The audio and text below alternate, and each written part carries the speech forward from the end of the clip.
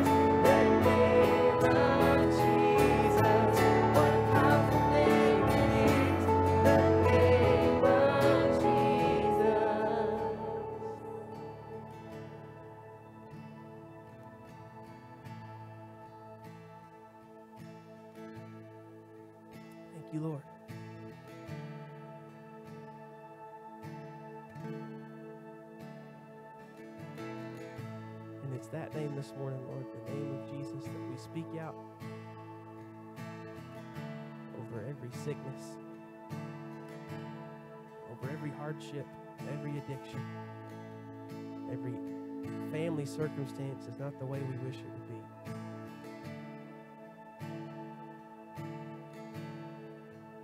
Every financial struggle we might be going through, every job loss.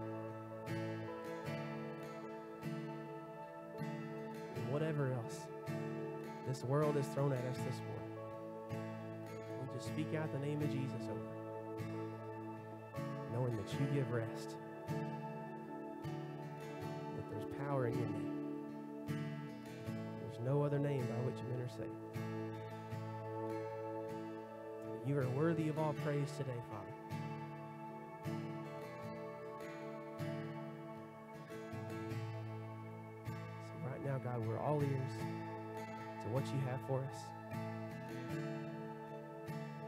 Something special today. We want to know you more, Lord. We want to know your heart, just like David did. This is your time. Into the name of Jesus, we sing this morning. Amen. Amen. We'll have a seat. Our ushers will begin in the back. Join me as we pray over our offering real quick. Lord, we trust you. We thank you for your provision. God, that you blessed us with so very much. Multiply this offering today.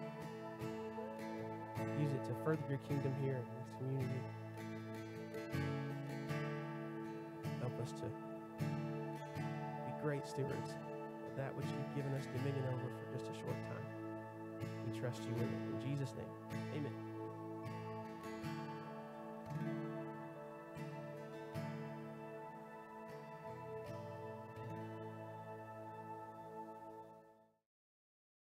Clap of praise today because he's worthy, he's good of all of our affection and our love. Amen and amen. In just a second, we'll be turning over to 1 Samuel chapter 17. So, just to give you a head start there uh, in the biblical text this morning, looking forward to getting into our study today in 1 Samuel chapter uh, 17. We're continuing the series, Taking on Your Goliath. And over the last several weeks, we've identified the fact that, that all of us, at some point or time in our lives, we have had a great challenge or a great obstacle. We've had our very own Goliath. And, and perhaps over the course of time, maybe we've had many Goliaths, many giants, many big obstacles uh, in our lives. And one of the things that we we even have seen here in this study of taking on your Goliath is just as Goliath, whose name, by the way, means to unveil or to reveal. The Goliath doesn't mean giant, it doesn't mean great warrior. It means to unveil or to reveal. And so, what Goliaths do is they unveil or they reveal weakness, weakness in us. I know even in my own life, sometimes my Goliath has revealed to me an area of my life that I have yet to submit to the Lordship of Christ. An area that I've protected, that I've guarded, that I truly haven't surrendered over to the Lord. And because that's a weakness in my life, Goliath or the challenge or obstacle comes against me and, and, and, reveals and unveils that soft spot, that tender spot, that area of vulnerability in our lives. I want you to do something for me this morning. I, I, want you just to, first of all, just close your eyes, okay? Just kind of sit there for a second, just close your eyes. And for one, we take absolutely nothing for granted. One, we come here to this place to, to worship, to give our time to the Lord. During this time, we're asking Him through His inspired word to speak to our lives. We take absolutely nothing for granted in this point in time, at this point in time. So, Lord, we yield ourselves to you this morning, Father. We are opening up our hearts and our minds to what you have for us uh, through the biblical text. We acknowledge to you, Father, that right now your Spirit is alive, moving, and working all around us and in us. And I pray, Father, that we would be aware of how your Spirit is moving and working in our lives right now, Lord. So, Father, we come against all uh, distraction. Uh, we come against those things in our lives that, that pull our attention and our heart and our focus away from you, God. And in this moment right now, we want to give you our full and our undivided attention. We're even asking you, Father, by the power of your Spirit, uh, to do a work here, to, to move in our midst, in our lives, and in our fellowship this morning. Here, God, we are asking you to do mighty and wonderful things in us. So, Father, we give you this time. We acknowledge that only you, through us, Lord, your power, can come against and take down obstacles and challenges to us, Father. And so, Lord, as we yield ourselves to you in this time, we're asking you to do that which only you can do. And I want you to think back to a time in your life where you were facing a mighty obstacle or a big challenge. A time in your life where you found yourself on your knees asking the Lord to deliver you. Maybe you were in a situation where someone's health was failing. Maybe it had been a terrible accident. And you found yourself saying, God, please, would you please move and work here? Maybe it was a time in a relationship that you're, you can remember a relationship really, really going through a, a difficult time or season. And you remember praying to God, God, would you please give me strength, give me peace, help me through this. Maybe a divorce. Can you remember a time maybe in your life when a layoff came to your company or your plant?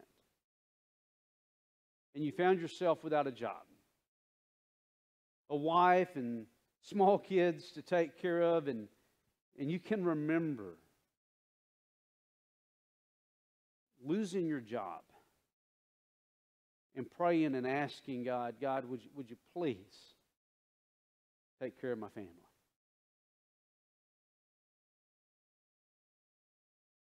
Can you remember trying to get through school? You were in finals week, and all your hopes and dreams were dependent upon how you were going to complete this course, and every other domino that needed to fall in your career was predicated upon that last week of how you did. Can you remember the pressure? Can you remember the stress? Can you remember the anxiety? And you cried out to God and you said, God, would you please? Would you please help me? Not just to get through this, Father, but to do well.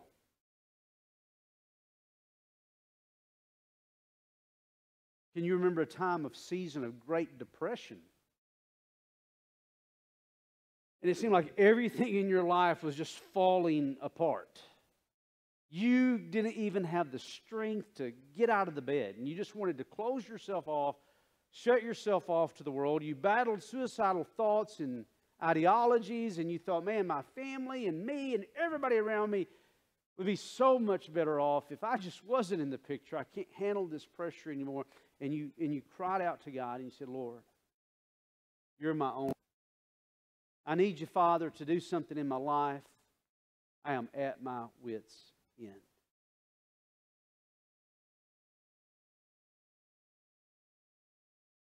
You lost a loved one, your spouse of many years. You felt lonely, lost, desperate. God, what am I going to do without them? How am I, God, I don't, I don't even know how to take care of this house. I don't know how to take care of these bills. I don't know how to help our ch- Lord, I'm lost. Would you help me? As you open your eyes this morning, I remember a time in our lives, it was during our first pregnancy. And um, I mean, all of this was brand new to me. Emily shared with me that we were pregnant and and, and you know, I'm just trying to take all this in. I'm excited. Everybody around us is excited. Looking forward to what was going to come. And oh my gosh, you know, it's just, just kind of overwhelming, to be honest with you. I was just kind of overwhelmed. And, and it's kind of one of those things as a guy, you know, when the wife says we're pregnant, you're like, okay, well, I'll take your word for it because nothing's really changed for me. And I remember going through those first few weeks, and you know, I can see that maybe her mood's changing. Uh, I can tell that, that her energy level's changing and this kind of thing. But I'm still just kind of a dumb guy, right? I'm just kind of a dumb guy, kind of, kind of, okay, I, I'm taking your word for this, you know. And one afternoon I was out hunting and I was in my deer stand and I got a text message from him, I got a call. Please come home. And Emily miscarried. And I remember her grieving that loss and going through that time. And again, I'm, I'm kind of a dumb guy. I'm like, wow, I mean, I didn't even really understand what we had, and I really don't understand what we lost here, but I'm sensing this grief, but yet it's not hitting home with me. And for the next several months, I never cried. I didn't grieve. I just, I just didn't know. And then, not too many months after that, not too many months after that, Emily comes back and she says, We're pregnant. And I'm like, Wow, this is exciting. And we go through the pregnancy, and then we have the day of delivery. And I remember being in the hospital and, and them bringing Katie out and putting Katie in my arms and looking into her eyes, and, and I was like, oh my gosh, she is so beautiful. And then, then they come back. And they took her out of my arms and they said, We think there's some problems. Her white blood count is really, really high, it's elevated. We think there might be some uh, lung issues going on, they're not developed. We don't know for sure. That could be the issue here. They put her in a little oxygen thing, and they said, We're going to look possibly, you know, flying her to Coast. And I am like, Whoa, what is going on here? Emily was back in the room, and I'm taking all of this in, and, and it's, it's just, it's overwhelming to me. So I go flying down to the chapel of the hospital. And I went in there to the chapel hospital and I, I fell on my knees in the chapel. And when I fell on my knees, I began to grieve. I began to weep. I began to cry. And then it was like the Spirit of God said to me, Alan, this very child, this very child that you've been holding in your arms, that you're concerned about losing now, is what you lost months ago. And I began to weep and to sob, and I, at that point in time, grieved the loss of what we lost months ago. And I asked God, I said, Lord, I don't want to go through this again. Would you deliver us? would you help us?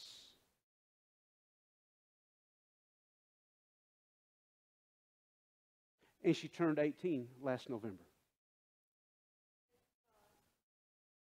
When you come to 1 Samuel chapter 17, we're at that point in the story where, to remind you, the army of Saul is on one side of the valley and the army of the Philistines are on the other side of the valley. The Shephelah that we talked about was a series of valleys and ridges that connected the coastal plains to the mountain regions. The mountain regions is where the major cities were established. Philistines, big, big enemy of Israel, were making a move. If they could get to Bethlehem in the mountain area, they could literally divide the kingdom of Israel. Israel was still in its infancy. It had kind of a, a dual natured relationship with the Philistines because the Philistines were so advanced that there were times that they would go to the Philistines to, to have their, their metal work and their, their weapons to have them sharpened. And, and the Philistines were so advanced, but other times they were like the, the big, big arch rival of the Israelites. And here you have the army of Saul and Israel moving down the mountain range to head off the Philistines. The Philistines are on the other side of the Shephelah, and what stands between them is the valley of Elah. The Philistines sent out into the valley of Elah their greatest warrior, their Goliath. And in the first part of this study, we looked at the nature of that Goliath and his sheer size and his strength and everything that he brought into the valley of Elah. And there he stood and began to taunt and to challenge the armies of Saul and of Israel. And he was challenging them to single combat. Single combat is when an army would send a representative out to fight on their behalf, and another family would send their representative to fight on their behalf. And instead of having this big bloodbath war and battle, the two would fight it out and whoever won as a representative of that army, the army would win. So Goliath comes into the valley of Elah. He challenges the Israelites send me your best man, send me your best man that we can fight, that we can duel. And nobody is wanting to go. At this point of the story, all the armies of the army of Israel and Saul, they are fearful. And Goliath has brought out their fear, but they're not willing to go into the valley. No one's willing to go into the valley of Elah. No one is willing to take on Goliath. But there's a man named Jesse who has a son, David, and his older sons are on the battlefield. They're, on, they're in the battle line. He sends his son David, who was a shepherd, also a musician who had played in the courts of Saul previously. You find that in 1 Samuel chapter 16. He sends David out to check on his older brothers. David goes out, he takes some food, he takes encouragement. Uh, Jesse, his father, tells him, Please bring back word to me as to how my sons are doing. David goes out. And there he finds the army of Israel in their battle array, lined up, thinking to themselves, is today today? Is the day the day? Is today the day? Is it today that we might have to actually go and have this fight? And nobody, no one person is being willing to go out and to fight. And David is there, and he hears, he hears the taunt of the Philistine Goliath. He begins to ask some questions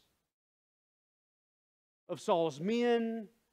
They tell him about what could happen and how the, how the king would honor a man who would go out and, and would take on the Goliath and would slay him. And remember, the challenge was this if Goliath wins, then the army of Saul would serve the Philistines, Israel would be defeated. If a man representing Israel would go out and he would win, then the Philistines become the servants of Israel. And David hears the taunt, and he hears the taunt, and he hears the taunt. And last week we realized that when it comes to facing your Goliath, when it comes to facing the obstacles and challenges of your life, one of the greatest powers that you have is the ability through God's Spirit to see things as they really are, to correctly see things. Israel, they see this warrior giant who intimidates them, brings out fear in them, and they're unwilling to go. But David properly saw Goliath. And if you'll remember, David says to the armies of Saul, he says, Who, who, who? who is this uncircumcised Philistine that he taunts the armies of the living God? In other words, David's like, guys, do you really see him for what he is? He's an uncircumcised Philistine, which means he doesn't have the mark of God on his life. Later, Goliath would actually taunt David in the names of his false gods Ashdod and Baal and other false gods. David correctly sees Goliath. This is not of the Lord. He is not of the Lord's people. He does not represent Yahweh our God. Therefore, he is inferior. He is unmarked. He is an uncircumcised Philistine. And by the way, he's not taunting the armies of Saul or just the armies of Israel, but he's taunting the armies of the living God. In other words, David sees this correctly and he, he understands that this is really God's fight to fight. And when it comes to you, and it comes to your challenge or your big obstacle as a child of God who's been anointed by God's Spirit, who has the mark of spiritual circumcision upon your heart and upon your life, you must understand that this battle, this challenge in your life, is really the enemy coming against your God. And it's not your fight to fight, but it is God's fight to fight through you. And He wants you to enter into that battle understanding the reality of your enemy. That your enemy, in proportion to God, is inferior and is no match. Here's the second part of this not just understanding the reality of your Goliath and how it stands in proportion to God, and God's size, and God's ability, and God's strength. But the second part of this is what David's going to bring to the table now. And it's not just seeing your Goliath correctly, but it's also seeing yourself correctly. It's seeing you, the reality of you the reality of who you are in Christ, the reality of who you are as a child of God. When you see yourself correctly, then you'll be able to look upon your life, you'll be able to look upon the past, you'll be able to see God's hand moving about you, and it's going to help you to give you encouragement and to give you confidence as you prepare to take on this current Goliath in your life in 1 Samuel chapter 17. In verse 31. When the words which David spoke, which he had shared with the Israelite army, and saw, when the words which David spoke were heard, they told them to Saul, and he sent for him, Bring, bring David to me. And David said to Saul, Let no man's heart fail on account of him your servant will go and fight with this Philistine. So now they have their man. The man who's willing to go. And, folks, a lot of people think you have David, this young shepherd boy, so disadvantaged, so young. And Saul's going to bring that out. Saul's going to bring that out. And I want you to know many times the taunts of the evil one, the taunts of your Goliath come at you, they say, You can't do this. You can't do this. You're not able. You're not capable. Who do you think you are? You can't stand. You can't win. You're nothing. And here's what David says back.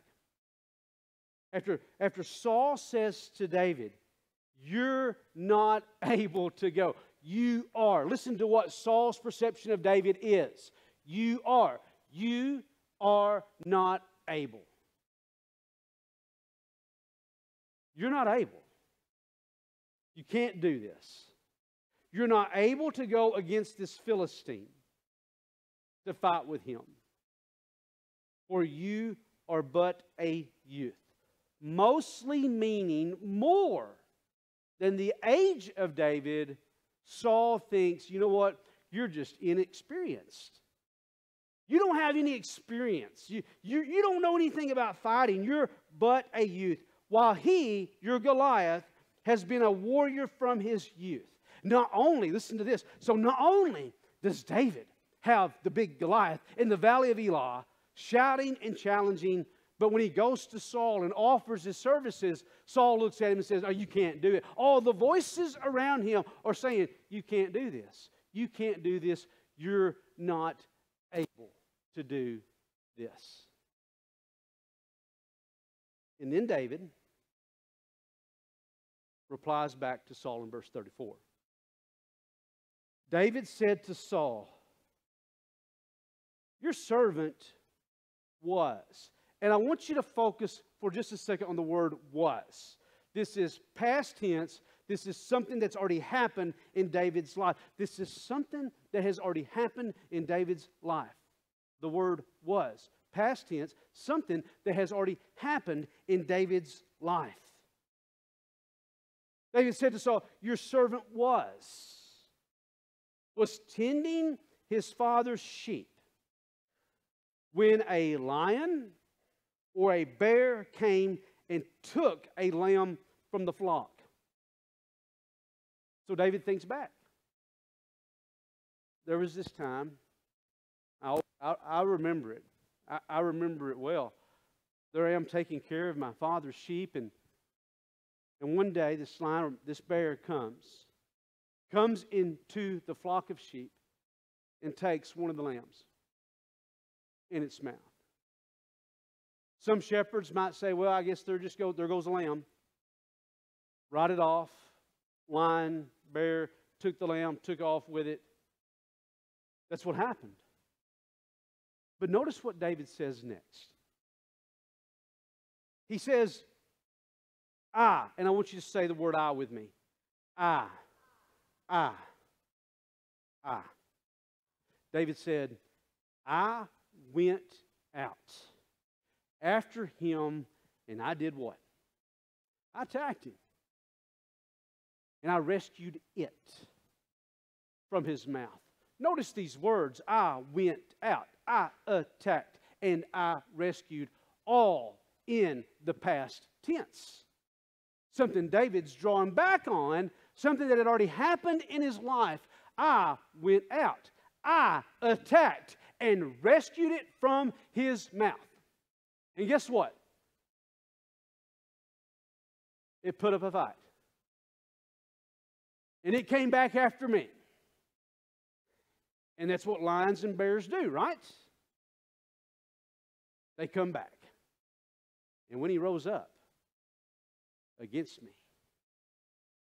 I seized, I mean, can you imagine David in that moment? I seized him by his beard and struck him. Struck past tense. I struck him and I killed him. Saul, you know who you're talking to? Yeah, I look youthful. I look inexperienced. I'm not wearing a big shield of armor. I don't have a sword or a javelin that's as long as I am but I've got some experience. I didn't sit back passively. I didn't let the lamb be taken by the bear or the lion. I didn't just chalk it up as another lamb that had been eaten, but no. In that moment, I went after and I attacked. And when it came after me, I seized him. I seized him by his beard and struck him and killed him. He reminds him in verse 36 Your servant has killed, past tense, has killed, past tense. Your servant has killed both the lion and the bear. I have seen challenges, I have seen obstacles fall in my life. And now, this is where David starts looking forward. And this and this uncircumcised Philistine, he's going to be like one of them. I mean, you talk about guts. You talk about fortitude. You talk about strength. You talk about confidence. Why was David so confident in what he says is going to happen next? That uncircumcised Philistine will be like one of them.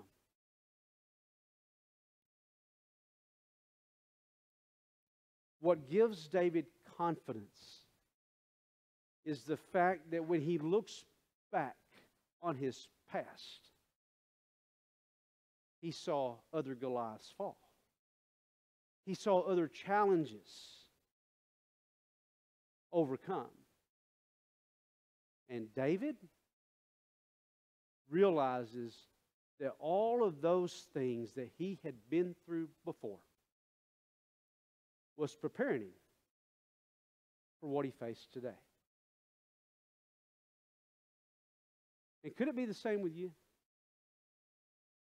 or me? That when we look back on our past and we think about those times and those moments in our lives, whatever came to your mind,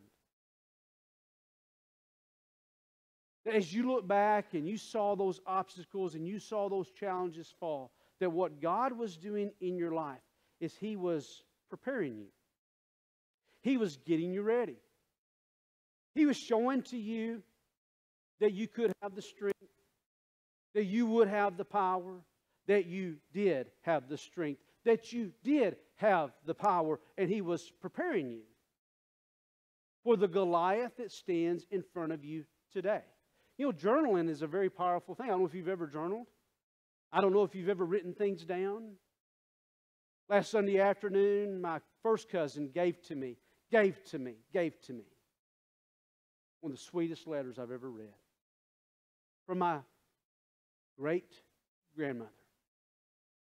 She wrote it to my grandfather and my grandmother on August the 27th, 1972. I was one year old.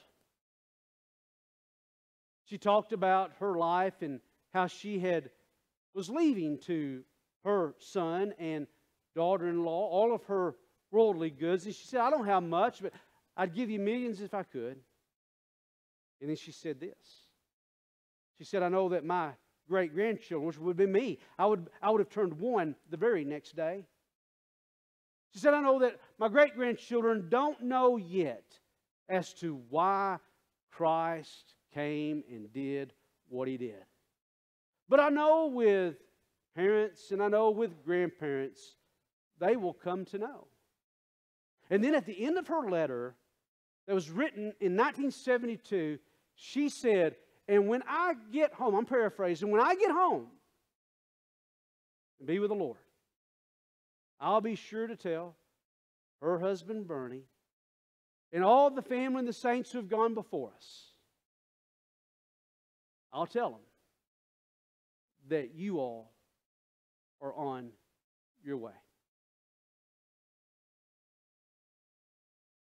And reading that and thinking back to the faith, the hope, to realize that even then, at that point in time, today, as we read it last Sunday afternoon, that all of her great grandchildren, including me, had come to accept Christ in our lives. Her words were prophetic, they were true, but it was written down.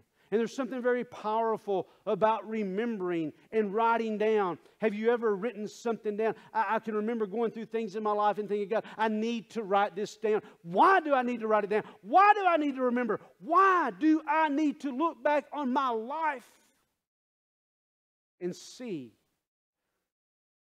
God's hand? Because so many times in looking back and seeing his God hand there, I can have the courage to keep moving forward now. He's been preparing you, He's been getting you ready. And David looked back and he found encouragement. He saw the reality of who he was in the Lord and the strength of God upon him. He identifies himself as your servant. He recognized the, the enemy as he really was. David is seeing things correctly, but then notice what happens next in verse 37. He doesn't just see his enemy correctly, he doesn't just see himself correctly, but he sees his God correctly. Do you think, do you think, do you think that the very God who did not let you fall and fail then is going to let you fall and fail now?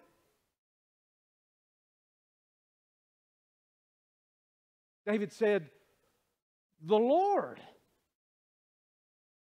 the Lord who delivered me from the paw of the lion and from the paw of the bear. He will. Y'all say that with me. He will. He will. He will. Why would David say he will? Because he had already done. And he counted it to the Lord that the Lord would be faithful to his promises to never fail him or let him down. The Lord who delivered me from the paw of the lion and from the paw of the bear, he will. He will. He will deliver me. He will deliver me from the hand of this Philistine. He's going to do it. He, he's just going to do it. He's going to do it. David understood the nature of God. The nature of God, a godly heavenly father, does not let his children down. Now, there'll be times or seasons that you may not see the hand of God moving and working, but it may be because there's a much bigger picture that is unfolding in your life. And there's a much bigger picture that's unfolding here with the Israelites and with the Philistine army. Much bigger picture, much bigger picture unfolding here, much bigger picture unfolding here. But David said, He will. He will deliver me. He will deliver me from the hand of this Philistine. And David said he had nothing else to say but go and may the Lord be with you. He saw his enemy correctly. He saw himself correctly. And now he sees his God correctly. And I want you to do something with you, okay? Okay? This is really important. Not only is God preparing you to take on this current Goliath, but if you look at David's life, David would one day become a king. This isn't the only Goliath he's going to ever face in his life. He's going to be a king over Israel. And he's going to have other great big challenges in his life. So, what God was doing in his life was preparing him to take on the current Goliath to prepare him for what God had for him in his future. You might be thinking, I don't know if I can take this step. I don't know if I can take this on. I don't know if I can do this. And you're thinking it's only about what's in front of you right now, but God has even more for you. He has more for you. He has more for you in your life. And that's why you need to take on the Goliath. That's why you got to do it. Because He's got more for you. What He prepared you for today, then, will be one day what you face or experience that He's preparing you for today. And I want you to say this with me because David was leaning on the faithfulness of the Lord. He would say, The Lord will do it. He will do it again. Folks, listen. He will do it again. Y'all say that with me, please. He will do it again. He will do it again. He will do it again. He will do it again. Watch this. and you be blessed because He will. He will do it again.